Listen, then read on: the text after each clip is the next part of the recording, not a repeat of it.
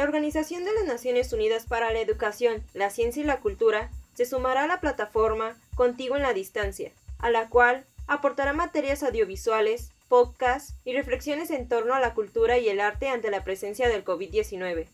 Entre los recursos que se compartirán está una serie de cápsulas informativas sobre cómo los recintos artísticos, históricos y culturales de México se han adaptado y generado diferentes soluciones para dar a conocer sus contenidos durante la Jornada Nacional de Sana Distancia. Todos estos recursos formarán parte de los más de 3.300 contenidos con los que ya cuenta el sitio de la Secretaría de Cultura, entre los que se encuentran recorridos virtuales, videos, libros descargables, conciertos, obras de teatro y aplicaciones.